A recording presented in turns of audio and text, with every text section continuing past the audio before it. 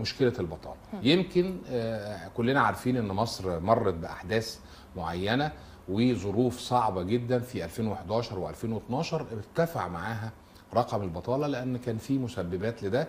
كان في آه، مصانع كتيرة في 11 و12 تم إغلاقها. آه، ده إدى تأثير سلبي على رقم البطالة وارتفع ارتفاع.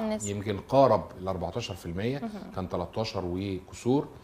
طبعا دي كانت مشكلة بتواجه الدولة ومع آه، آه، بداية 2014 آه، تم وضع آلية عشان ننظر في القضاء على البطالة ويمكن كان آه، خطة التنمية المستدامة آه، بتمثل انخفاض سنوي لا يقل عن 1.5% في في أرقام البطالة.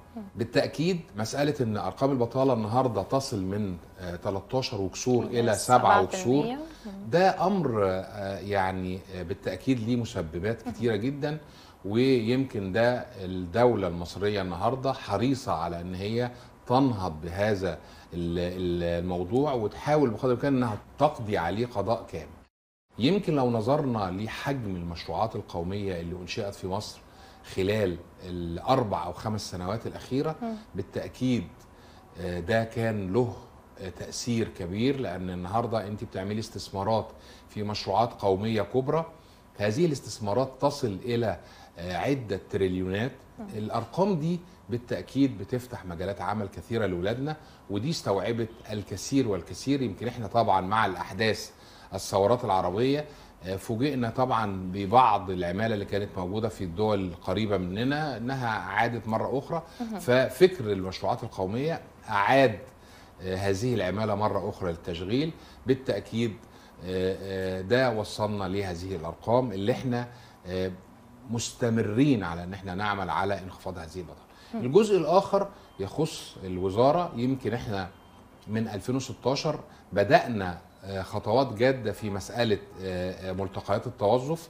ويمكن في البداية كانت قابلتنا بعض المشاكل لكن تغلبنا عليها وقدرنا نبتدي نشتغل مع فكر ولادنا وبناتنا. الولاد آه، آه، مش عايزين دايما نكون إحنا ظالمين ليهم ونقول لا ده هم مش عايزين يشتغلوا ده هم لا. لازم يبقى في حوار بيننا وبينهم.